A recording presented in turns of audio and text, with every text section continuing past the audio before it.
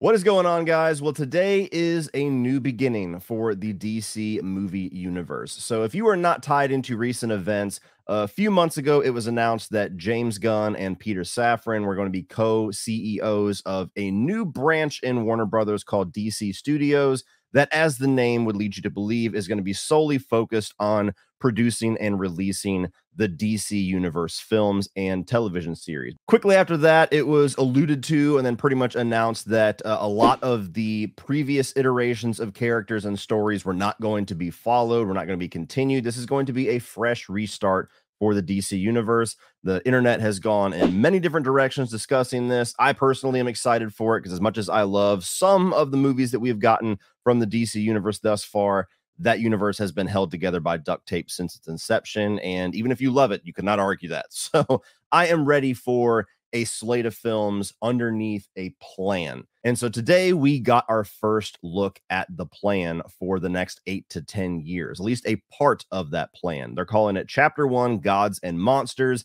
It was announced through a social media video that James Gunn himself released.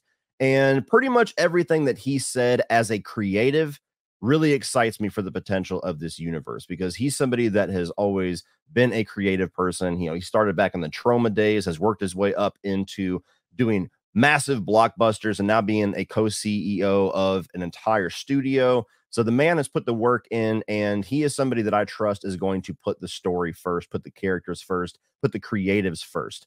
And he even announced that there's going to be a title or a banner called DC Elseworlds, which really excites me. So things like Matt Reeves, the Batman, things like Todd Phillips, the Joker, uh, Teen Titans Go, things that are already in production, as well as presumably a lot of things in the future that don't necessarily fit into the grand universe that they are building out, but are still really awesome stories that they want to tell.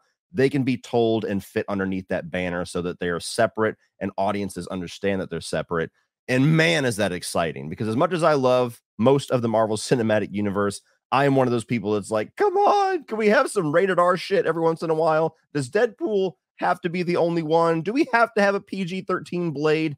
I think an Elseworlds banner is an absolutely brilliant idea. And I'm probably most excited that they announced that, if anything else. So, Batman Part Two got its release date coming out October 3rd, 2025, I believe. So excited for that. I'm not including that on this list because it would automatically be number one. Uh, and I'm very curious about the Joker Part Two. I'm not really a musical guy, but I have faith that it's going to be something interesting. So, what I'm going to do today is I'm going to talk about the 10 new announced projects that they gave. Some of them are films, some of them are TV series, and I'm going to rank them by my excitement for them. Now, admittedly, a lot of these characters and a lot of these properties that they announced today, I don't have any knowledge of. I don't have any previous experience of. I never read the comic books. And so this is going to be my first introduction to them. And so I hope that even the ones that I have ranked low because of various reasons, when I actually get to see them, I'm hoping I become an instant fan and I'm going to be curious to check out comic books and all the previous stuff. So, starting off at number 10, the project that I am least excited about is going to be Creature Commandos. And I'll be honest, and this is a very shallow reason, but I have to give my honest take. Uh, it's just because it's an animated series. I'm not really big into animation stuff. I never watched the Marvel What If. I never watched any of the DC animated movies that have come out. It's just not really my thing. You know, there's great animation out there, but I'm just somebody that I always prefer my stuff live action. I'll watch a three star live action film before I'll watch a five star animated film any day of the week. That's just who I am. So that's pretty much the only reason why it is this low. Now, the description that we were given for Creature Commandos is a seven episode animated series written by Gunn. He wrote every single one of the episodes that is already in production. Originally a team of classic monsters assembled to fight Nazis, this is a modern take on the concept. The voice actors have yet to be cast, but the executives are looking to find people who can voice the animated characters and also portray the live action versions when the anti-heroes show up in movies and series which is also something really cool that he announced is that they're going to try to make it so consistent that even when they do animated things animated movies or series or whatever projects they're going to keep the same actors the same likeness the same voice so that you can literally transition from one to the other and they're all interconnected. That does excite me about it because that's one of the reasons Of course, somebody's got to drive their fucking monstrous ass engine by when I'm recording, you dick. But that is one of the reasons why I haven't watched any of these animated series or animated movies uh, while there's a movie universe going on, is because if it's not the Suicide Squad that I know, why should I give a shit? So that might be one of the bridges that gets me more into this stuff. Uh, now, that was from the Hollywood Reporter, and let me see what Variety says about it. Creature Commandos animated series for HBO Max, the very first project greenlit by Safran and Gunn, who has written every episode. Show is already in production. Uh, were first launched in 1980. The premise features Frankenstein's monster teaming up with a werewolf, a vampire, and a gorgon to fight Nazis in World War II. I did not realize that it was those classic monsters, so that does raise my interest a little bit, but it's still my least interested. It doesn't appear that Gunn's version takes quite the same approach. Weasel, one of the characters from Gunn's 2021 film The Suicide Squad, is one of the commandos, along with Rick Flag's father, Rick Flag Sr. Animation allows their creative collaborators collaborators to tell stories that are gigantic but without spending 50 million an episode. Crucially, Gunn said that the actors cast to voice the characters in the show will also play the roles in live action. So the the fact that they're going to be the same actors is the uh, interesting part to me, as well as the fact that it's Frankenstein's monster and uh, werewolves and all that stuff. That that that is up my alley, but I would rather see that live action. So interesting. There's not a single project announced today that I don't have some interest in, but that is the one that I'm the least excited about just because I'm a shallow man that doesn't like to watch animation. Coming in at number nine is going to be Waller. And this is, as the title would let you to believe, a show about Amanda Waller, who has been one of the most consistently used characters throughout the scatterbrained DC universe thus far, portrayed by Viola Davis in both of the Suicide Squad movies. She's also made little cameos and post credit scenes. Uh, she was also in Peacemaker, I believe. Don't quote me on that, but I'm pretty sure she was. And it says that in a spinoff of Gunn's own HBO Max hit series, Peacemaker, Viola Davis will return as the ruthless and morally ambiguous head of a government task force. It's being written by Christal Henry, who gave us Watchmen, and Jeremy Carver, the creator of the Doom Patrol TV series. Uh, now, for Variety, with Gunn focused on Superman Legacy for the foreseeable future, season two of Peacemaker has been put on hold. Instead, Team Peacemaker will appear alongside Davis as a continuation of that show, which, spoiler alert for season one of Peacemaker, ended with Waller's daughter, Leota uh, Adebayo, outing Task Force X and Waller's role running it to the world. Along with Christal Henry, who is part of the DCU Writers Room, Waller will be executive produced by Jeremy Carver, who created Doom Patrol, was recently canceled by HBO Max. Safran said they are crushing it while working on Waller. It's just the greatest show ever. Gunn added both Creature Commandos and Waller are expected to debut before Superman Legacy. Safran called them the aperitif for the DCU. So uh, I was tempted to put this last just because, as much as Viola Davis does a fantastic job in that role, I've never found her to be the most interesting character in any of the projects she has been in. She's just that evil bitch figurehead that keeps popping up. And so maybe this show will change my mind on that character. We'll give her a little bit more depth, a little bit more interesting of uh, not being such a one note character. But uh, the fact that they're continuing off Peacemaker with this, I did enjoy that show.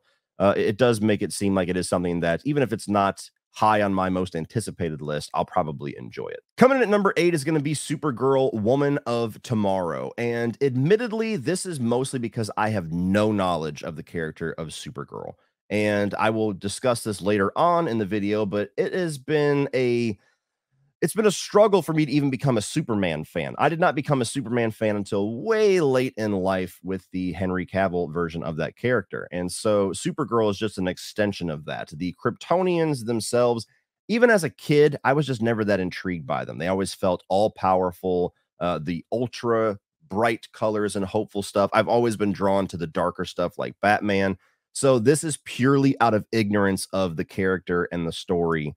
And so I have no knowledge of how awesome of a character she is. I just see the female version of Superman. So Supergirl, Woman of Tomorrow says, taking its cues from the recent Tom King written miniseries, this movie promises a different take than what most think of when Superman's cousin comes to mind. We will see the difference between Superman, who was sent to Earth and raised by loving parents from the time he was an infant, versus Supergirl, raised on a rock, a chip off of Krypton, and who watched everyone around her die and be killed in terrible ways for the first 14 years of her life, and then come to Earth. Okay, remember what I said about being drawn to darker characters? Apparently, I don't know shit. So, yeah, that actually interests me. she is much more hardcore and not the Supergirl we're used to. Well, shit. Now that I'm reading that, no, we're going to keep it at number eight. and the Variety article basically said the exact same thing, no new information. So uh, I will say that does sound intriguing. I don't know if that is just a unique take on the character because they did say it's based off of a recent run of comics. So maybe that's just a recent version of Supergirl. But that does intrigue me because, yeah, that, that dichotomy of Golden Boy Superman and then this jaded cousin, that does bring some interesting things to be explored there. So that does intrigue me more. But I'm still going to keep it at number eight just because the ones above it, I at least have some knowledge or some interest in what they're doing beyond just this one little tiny premise here. But that does excite me. So that's going to be coming after Superman, obviously. Uh, and if they knock it out of the park with Superman, this will probably jump higher on the list significantly. But then we got to see what Superman Legacy does. Coming in at number seven is going to be The Authority. And this, from what I have been led to understand, is essentially a group of superheroes that are a little more rough around the edges. They're a little bit more uh, outside of the law with how they do things, a little meaner, a little darker than your traditional group of superheroes and it's because of that premise that I'm not as excited about that as maybe I would have been five years ago, because it just sounds like another variation of Suicide Squad and the boys. And don't get me wrong, I loved the Suicide Squad, the recent one. Uh, I really enjoy the boys, especially the last season. But we have so many of these evil superheroes. I mean, even Invincible was one that came out recently. We have so many of these darker variations of superheroes and superhero teams that it's almost becoming a cliche and it's becoming a little bit overexposed, a little oversaturated for my taste. And so this might be wildly different, but it just sounds too similar to things that we've already gotten recently. That's why I have it where I have it. But nonetheless, it says a movie based on a team of superheroes with rather extreme methods of protecting the planet. The first originated in the late 1990s under an influential imprint known as Wildstorm, run by artist and now head of DC Publishing Jim Lee. One of the things of the DCEU is that it's not just a story of heroes and villains, said Gunn. Not every film and TV show is going to be about good guy versus bad guy. Giant things from the sky come and good guy wins. There are white hats, black hats, and gray hats, added Safran. They are kind of like Jack Nicholson in A Few Good Men. You can't handle the truth. They know that you want them on the wall, or at least they believe that. Okay. So, I mean, yeah, intriguing with the way that he brings in the Jack Nicholson thing to kind of color it. Uh, from global fame to relative obscurity, Superman Legacy will lead directly into The Authority, an ensemble movie about superhumans who have a less than idealistic approach to saving the world. Gunn spoke at some length about The Authority, a project he said he's really excited to bring to life. The characters from Wildstorm, which was launched in 1992 as an independent entity under current DC Comics chief Jim Lee, and ultimately made an imprint of DC. The Wildstorm characters were later folded into the main DC Comics universe when the company rebooted its continuity with the New 52 initiative in 2011. Gunn said that he and Safran intend to do the same with Wildstorm characters in the DCU. As a comic, The Authority was created by Warren Ellis and Bryan Hitch as an ends justify the means superhero team, an approach that appealed to Gunn and Safran's desire to diversify the storytelling within the DCU. Uh, then he says the same exact quote about not just being heroes and villains. Um, Gunn said the film is being written now, but he declined to say who was the screenwriter. Okay. So, yeah, it, it could be something really cool and interesting. Uh, I mean, even to a degree, just the Eternals that we got from Marvel uh, two years ago was a movie that kind of dealt with the, the, the more nihilistic, more less than idealistic approach to saving the world. So it's just because I don't know, I haven't seen enough off of it now to get excited beyond all of the other variations of that same type of storytelling that we've gotten before.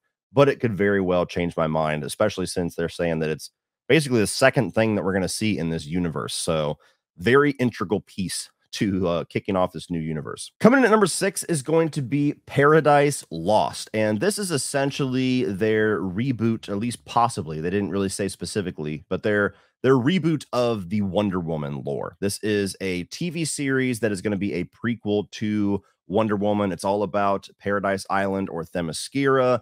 Uh, Gunn also described it as like Game of Thrones on Themyscira, which is what intrigued me more. This initially was lower on the list because I really love Gal Gadot as Wonder Woman, and I love the version of Themyscira that we got. So that's actually one of the the losses that we're potentially getting with this new reset that hurt the most. As much as I was not really a fan of 1984, and so I'm, I'm not as excited about going through the motions with that again. But what they have described here is the duo described this HBO Max series as Game of Thrones style drama set on the all female island that is Wonder Woman's birthplace. Themyscira, filled with political intrigue and scheming between power players. It takes place before the events of the Wonder Woman films. Okay, well, I it, I didn't hear him say that specifically in the video, so I don't know if they're just assuming that. Maybe this does keep Gal Gadot and uh, those movies as canon. Obviously, he described the Flash movie as a reset, so to a certain distant extent, all of the movies are still going to be canon, but that's another timeline we'll see whenever we get the Flash film what exactly that looks like. Uh, so maybe it is a prequel. That would interest me more if it was actually going to be the same character as the same canonical story. Uh, you have Variety says Game of Thrones just story set on an island of Themyscira before the birth of Diana. Um, how did that come about? What's the origin of an island of all women? What are the beautiful truths and the ugly truths behind all of that? And what's the scheming like between the different power players in that society? The provocative title recalls the Paradise Island Lost comic series authored by Phil Jimenez and George Perez, which followed a civil war on Themyscira. However, that run directly involved Wonder Woman.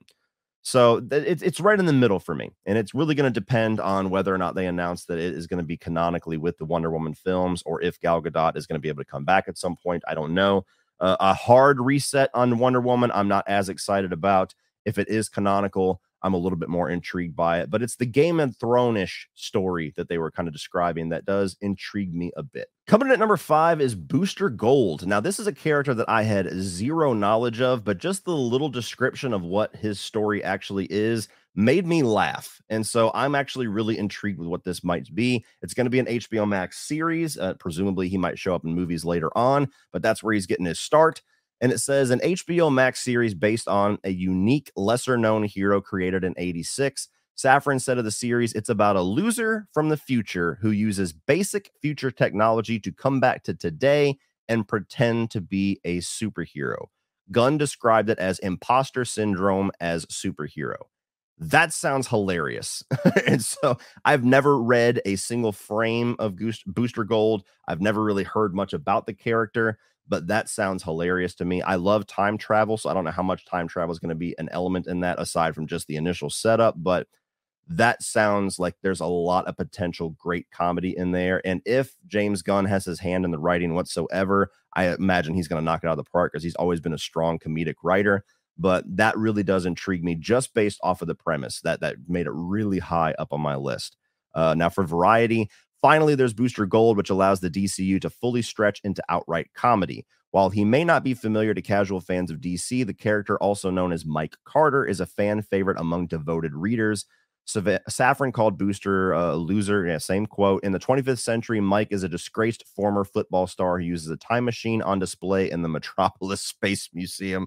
I'm laughing just reading the premise. Just I can imagine the pilot episode of this just being a fucking riot of this douchebag loser that gets a hold of some bullshit technology that is just outdated by their times and goes back to current times to be an awesome guy.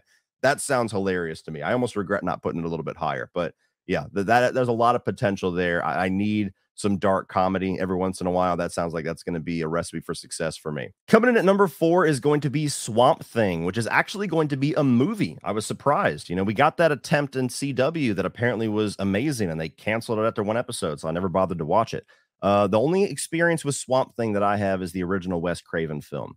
Which, uh, if you haven't seen my Wes Craven ranking, I reviewed and ranked every single one of his films. Please check that out. I'll link that above but it did not make it very high on that list. I was not a big fan of Wes Craven's take on Swamp Thing. There's a variation of reasons why, but it, it, wasn't my thing. So, not the best introduction to this character, but I've always loved the way that the character looked.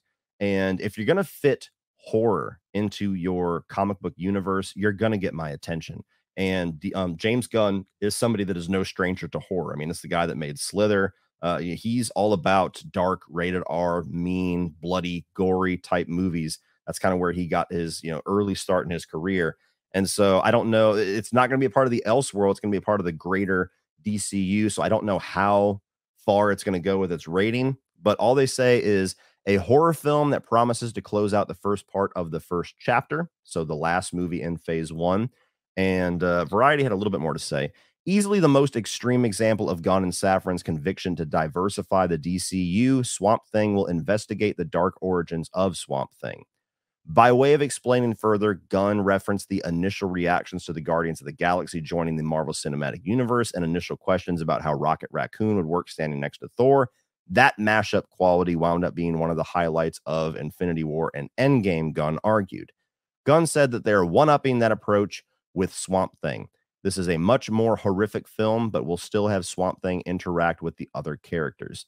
So, purely because of my my love for horror and my desire to get a little bit of that flavor in there and to have some of the darker, meaner, nastier stories take place in these universes. Uh, and because I'm really intrigued to see this character finally done right in a live action format uh, and not get canceled after one episode, that I'm pretty intrigued with this one. Moving on to number three, we have our introduction to Batman and the rest of the Bat family in the DC universe, and that is going to be called The Brave and the Bold. And all that I have been taught about The Brave and the Bold is that it is a story about Batman and Robin, and it's being the Damian Wayne version of Robin, who is Bruce Wayne's son. Apparently, he's a bit of a psychopath, a little bit of a killer, and Bruce obviously trying to kind of tame that and let him use his his evil desires for good. And so there's elements of that that intrigues me.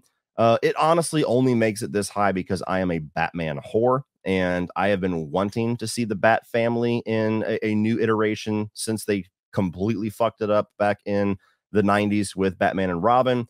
Uh, and I really want to have a Batman where you can get the more fantastical side of that universe. I am all about the Matt Reeves Batman. Like I said, that would be number one by a landslide if I was including it on this list. And I love that dark, gritty, real world take. That's probably my preference for Batman. But one of the things that I was excited about with the uh, Ben Affleck iteration is that we were going to get things like Doomsday and Man Bat and Clayface and all these more out there villains that we've always just stuck to the kind of low level crime ones, you know, Joker and Penguin and Riddler. We always get kind of the grounded ones.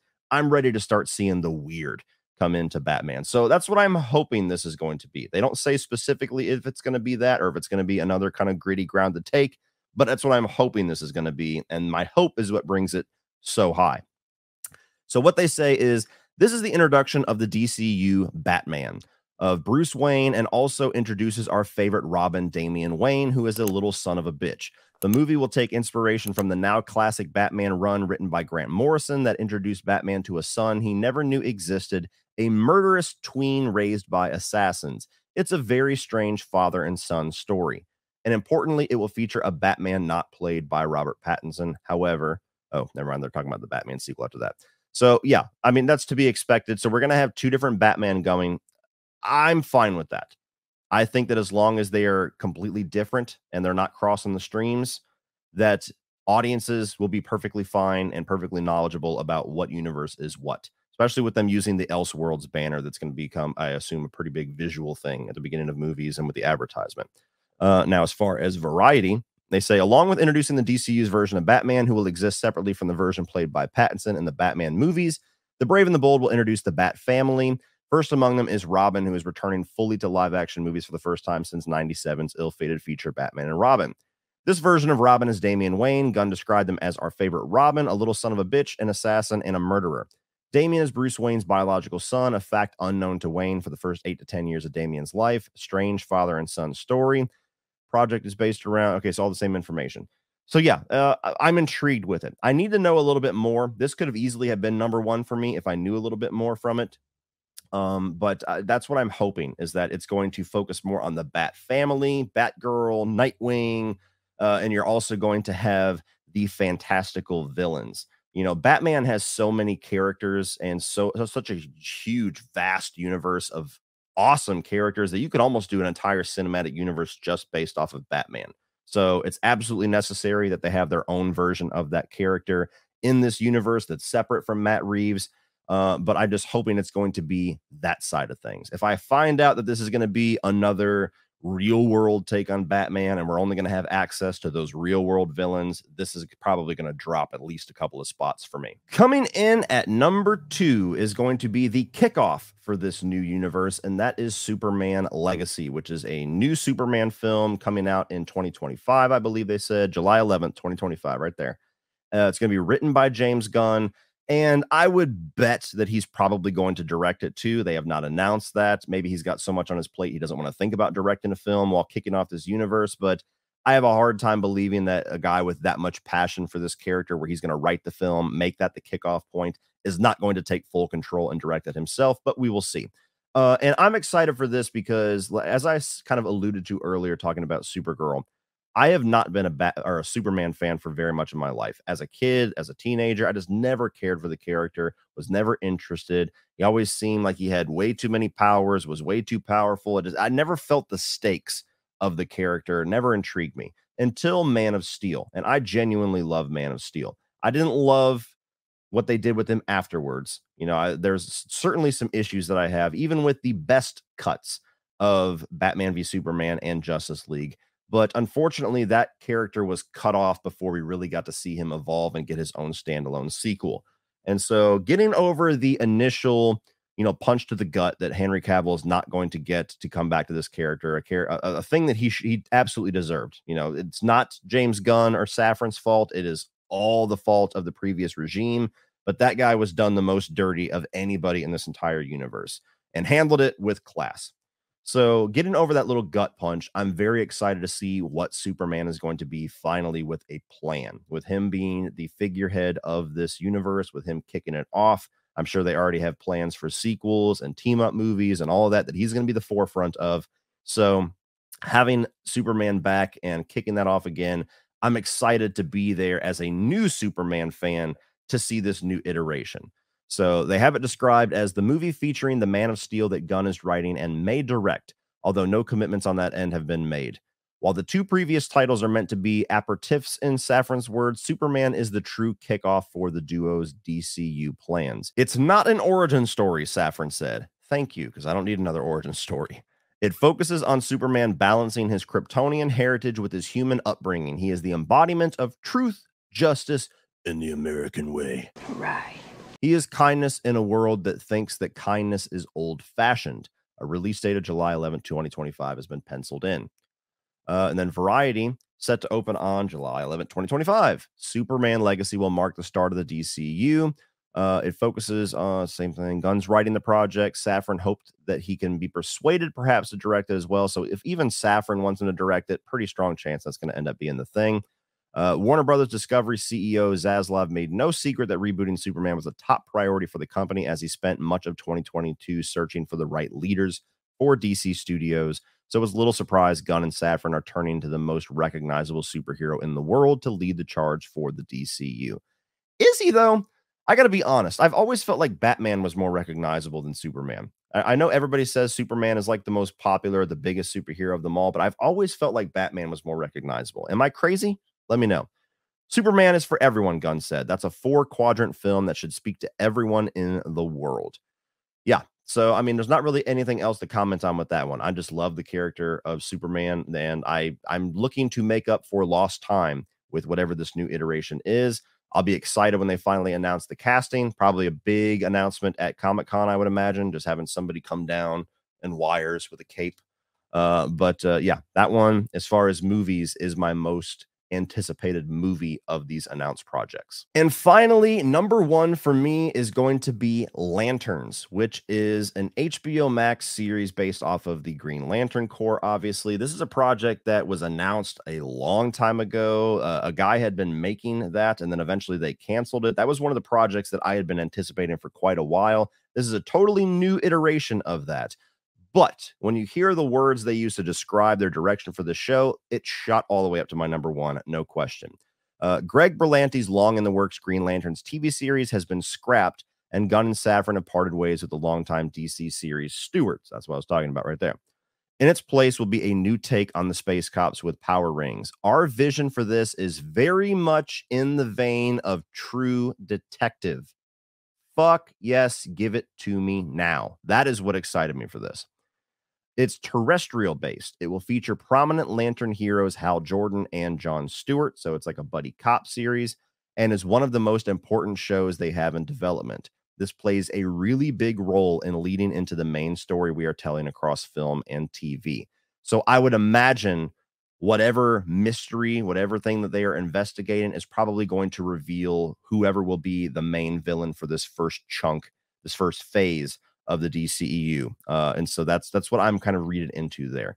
But having a buddy cop TV show with the Green Lantern Corps is kind of what I was expecting anyway, and that's a really intriguing premise to me, uh, especially when you get Hal Jordan and you have um, John Stewart, who are arguably the two most popular of the Green Lantern Corps, and those are going to be two very different characters. I'd imagine a lot of potential for good back and forth there. I love a good buddy cop scenario, but saying that it's in the vein of True Detective, that really excites me because the first season of True Detective, I mean, that might be in the top five of greatest seasons of television ever made, as far as I'm concerned. So if they're going for that tone or that approach, that really, really excites me. Obviously, leading all the way up to be number one.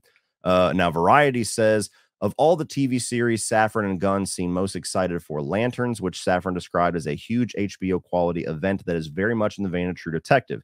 The show will focus on two of the best known members of the Green Lantern Corps, Hal Jordan, the test pilot first played on screen by Ryan Reynolds. Where's my thing? and John Stewart, an ex Marine and one of DC's first black superheroes who investigate a mystery that Safran said plays a really big role leading in the main story. Very important show for us. This project is separate from a Green Lantern series that was being moved, uh, developed by Greg Berlanti. Uh, Greg's vision was more of a space opera. Our vision is much more true detective, terrestrial based investigation fuck yes. So I, I've said all I need to say about that. Like the Green Lantern Corps is a really, really interesting group of characters. Uh, I did not hate the Ryan Reynolds movie as much as everybody else, but it obviously was not a very good start for that character, and he's been struggling to get back to the big screen ever since. And so I think this is the right approach, having an HBO uh, HBO quality event that they call it, which means big budget, uh, having it be this terrestrial space investigation thing uh, in the vein of True Detective. I mean, that does that sounds like something that I'm going to eat up. So that is absolutely the most anticipated, most excited thing that I have seen that was announced today. Please let me know down below what your guys' ranking of these announcements are. Do you have one that is way at the bottom of my list that I'm just totally not ready for how awesome it's going to be? Please, by all means, educate me. And is there anything that was not announced today that you're bummed out that you did not hear them announce or, or any kind of detail that you're really, really on the edge of your seat waiting for them to address maybe in phase two or the rest of phase one. Let me know all your thoughts down below in the comments, guys, and we will discuss it. All right, guys, that's it for this one. If you enjoyed this, please click over here for all of my 2023 new release movie reviews. And I'm also going to put my review of the Batman up here if you just want to talk about some DC stuff. Please like and share this video, hit that subscribe button so you don't miss anything in the future. And as always, remember, opinions are like assholes, but that doesn't mean you have to be.